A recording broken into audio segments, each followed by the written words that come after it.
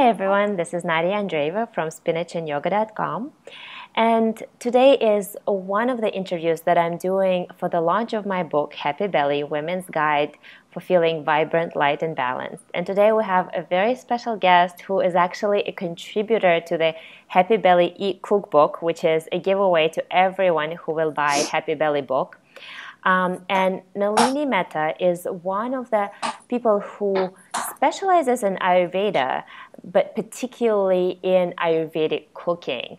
And Nalini grew up with cooking, um, and she's been surrounded by her mother's delightful treats.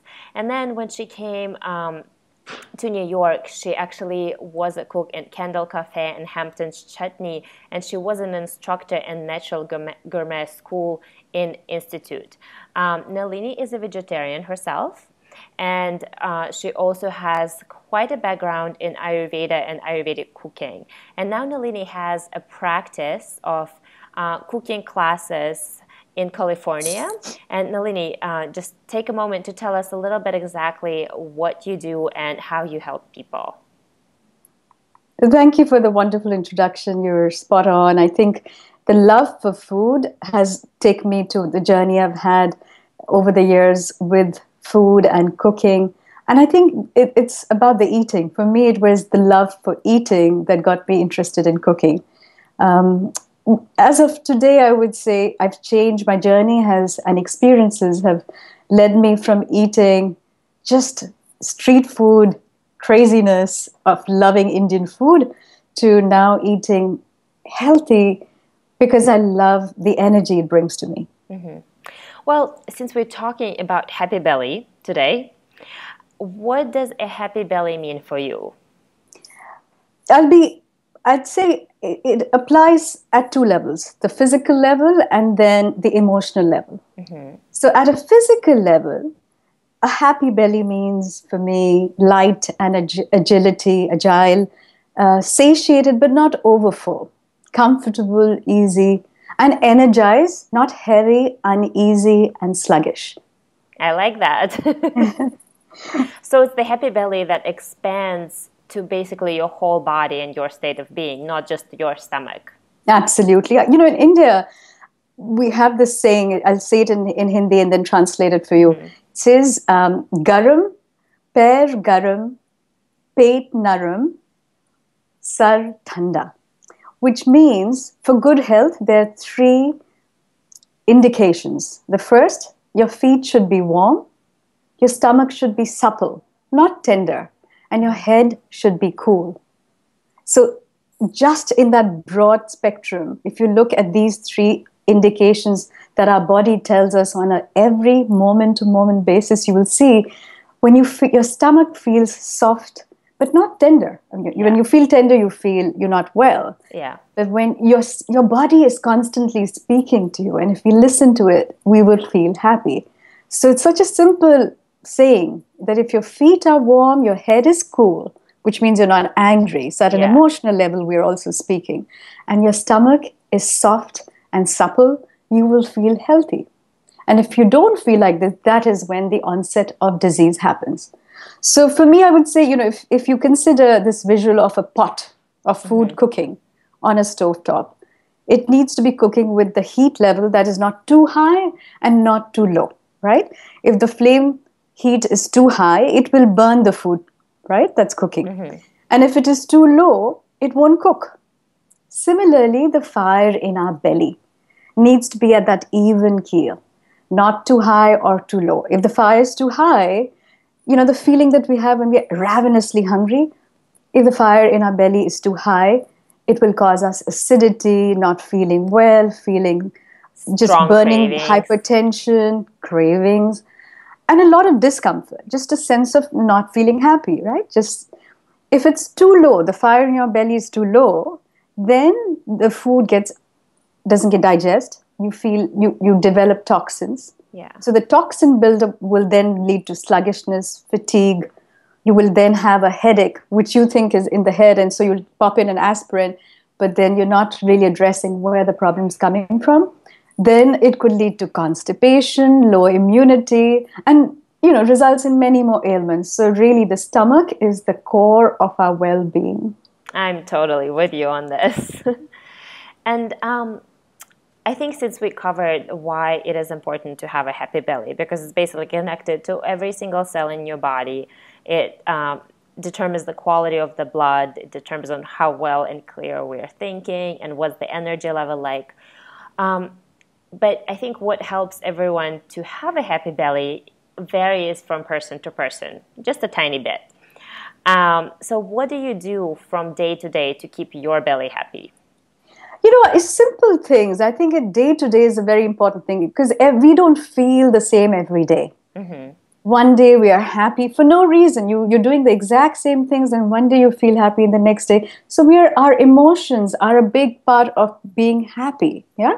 So when you're feeling freedom, you're feeling clarity, you're feeling abundant, you feel generosity, then you will feel overall well. But it's the reverse also. If your stomach is not well and you're not feeling happy, then the food, which is a key source of energy, will be taken just to cover up because it's your body telling you you need something to bring energy, you need something to feel happy. And so you will eat out of that emotional level of, of actually unhappiness. Yeah. Yeah. So energy and using that food as as your fuel factory, you know. So if you're let's say if you're eating every three or four hours, right? Mm-hmm. You, you're eating um, whatever comes to you, or you're eating with awareness. So, for let's say, for example, you're eating when you're angry. The food's going to go into your system, and it's building toxins because you're not eating with that awareness and your body is feeling stress eating the food. So it's the same food. It could be as organic as you can imagine it to be, yeah. but it's not going to serve any positive awareness. It's not going to make you feel happy. So it doesn't serve the, the purpose. I, I don't think I've addressed your question. So let's repeat that question. Well, I guess what we're trying to talk about is let's get a little bit more personal away from the theory, away from like what yes. we need to communicate to people, yes. more what do you do on a day to day to make sure that your stomach feels light, that you digest food well, that you have good energy? Okay. So, on a physical level, again, exercise to build a strong core. And for me, that is a daily practice of yoga. Mm-hmm. Uh, exercise builds my core to be strong. That helps me overall, my stomach to feel much healthier. Um, but also meditation, at least about 10 15 minutes morning and evening, helps me stay emotionally balanced. So we're addressing the emotional level and the physical level. So again, exercise, meditation, eating at regular intervals. And you know, diets are all fine, but eating really well and by mm-hmm. that I mean, again, simple. It's an idiom, right? We've all heard it. Eat your breakfast like a prince, eat your lunch like a king, and eat dinner like a pauper. That's really the simplicity with which I follow it. Mm-hmm. Eat a, a good breakfast, eat eat your meals properly you know don't skimp on it it's yeah. not you cannot fix everything by calories or by following diets because no one diet fits everyone. You are a unique individual. And so, again, keeping the different aspects of how are you feeling to, today? What is the awareness that you're bringing to yourself? So, feeling connected with what you're eating and how you're feeling. Yeah. So, those are the three things that I really follow on a daily basis, in addition to some massage um, just you know massaging the, the soles of my feet with some hot oil like sesame oil mm.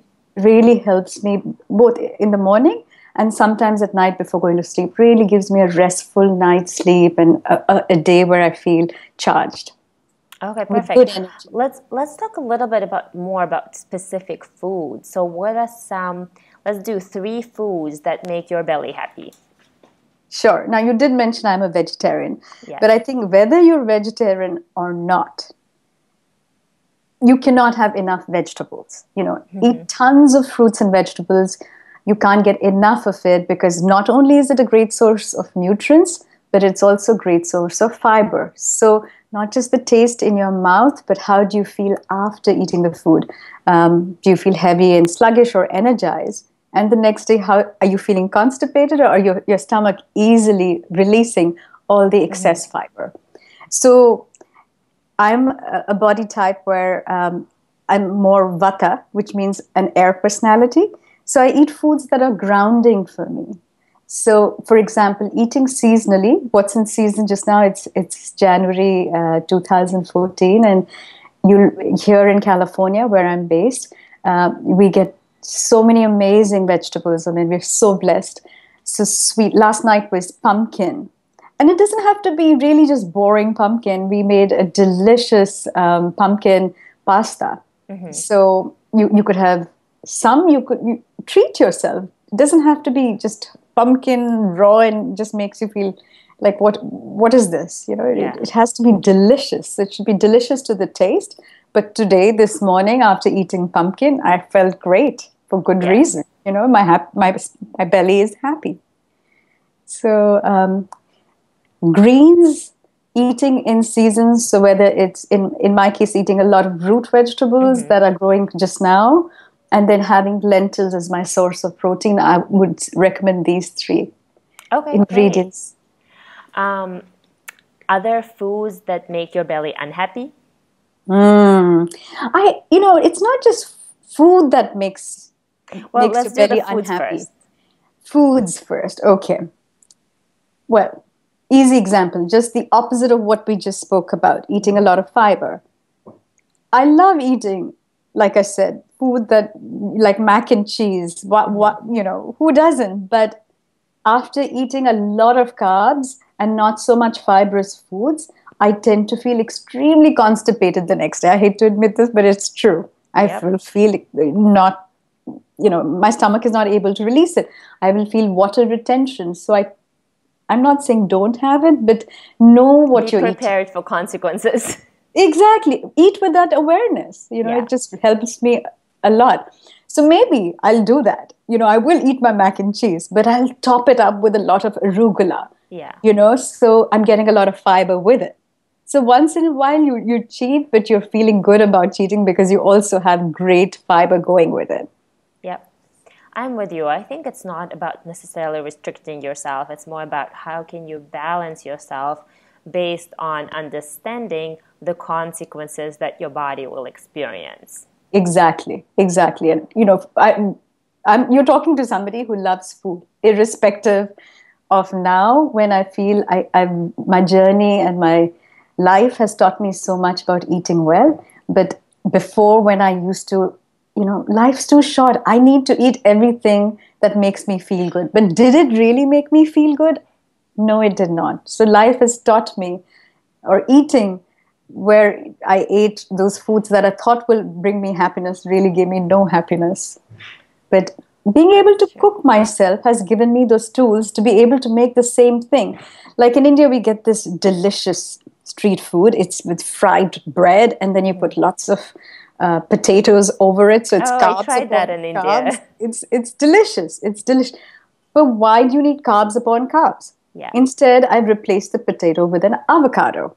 Mm-hmm. And I've inst- I need some. So the I still use instead of the the fried bread, I use papadum, which is a lentil wafer. Mm-hmm. So you use a lentil papadum, top it with an avocado and some, just liven it up with some sprouted mung beans. Mm-hmm. And I have, and that you know, sprinkle delicious. it with lemon juice and some cumin powder. It's just deliciousness. So I still get the exact same taste without feeling heavy the next yeah, day.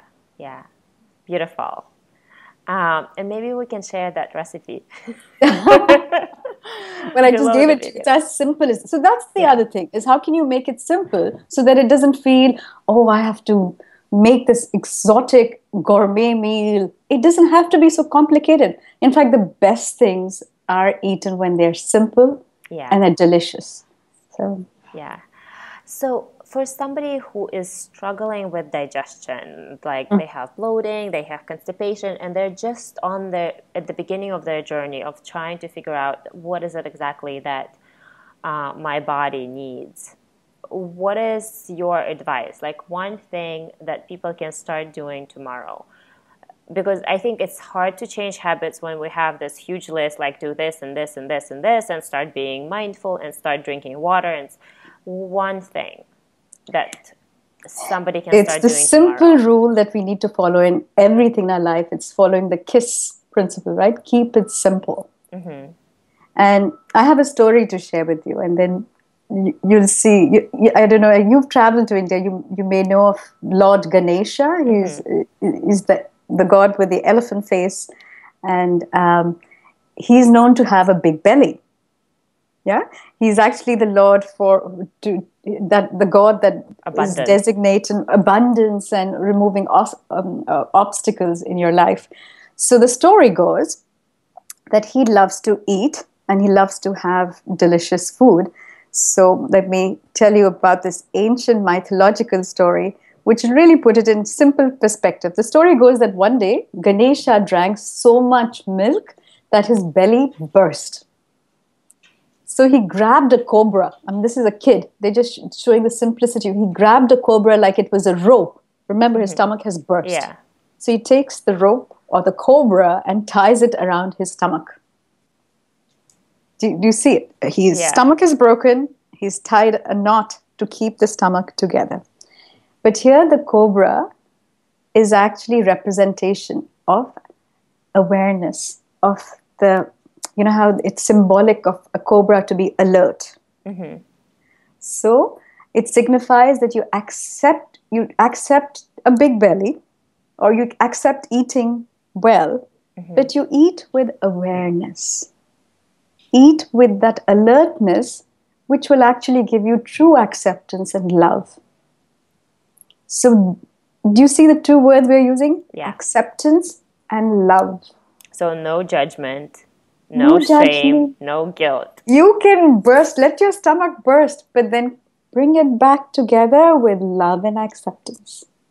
That's a really good one. And I think in the beginning of a journey, it's such a necessary tool just just bring yourself together with with that feeling of i can make this happen if i'm aware of what i'm putting in my stomach and how i feel after how i feel after how am i eating when i'm angry i often tell my students don't eat when you're angry the food's going like we literally my mother would say your stomach your food's going to the donkey you're not eating it's going to the donkey and we never really understood, but now it makes sense because if you're going to be angry and you're stressed, the food's not doing what it's meant to do for you. Yeah.